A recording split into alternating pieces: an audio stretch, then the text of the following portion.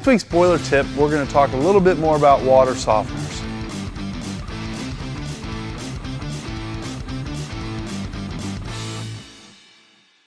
If we've got hard water going into our boiler, the minerals, calcium and magnesium, are going to precipitate out and end up on our boiler tubes. So this was removed from an unfortunate boiler along with the tubes um, in a very extensive repair. So to combat this, we've got two simple things that we're going to use in the form of a water softener.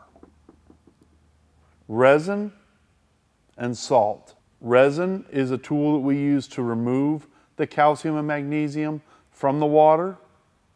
And salt is the tool that we use to remove the calcium and magnesium from the resin.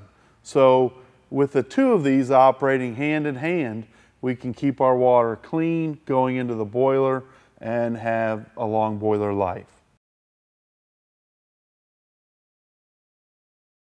We've got daily tasks with the water softener, checking it, making sure that we're getting soft water and course adding salt. But there are a few things that we need to do at certain intervals to make sure that everything stays in good working order. Um, sometimes the salt that we buy has impurities, bits of rock, uh, silt, etc. So it's not a bad idea to drain down your salt tank or use up all the salt occasionally just to clean it out.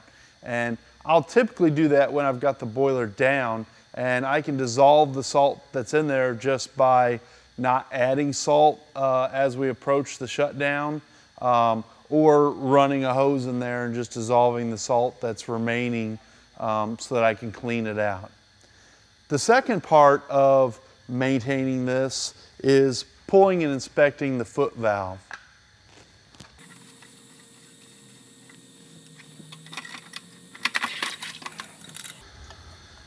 The foot valve plays an important role.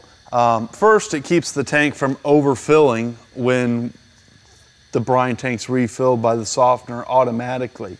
But the second thing it does is it actually prevents the softener from sucking air by completely draining the brine tank during regeneration. So it's got a minimum level and a maximum level.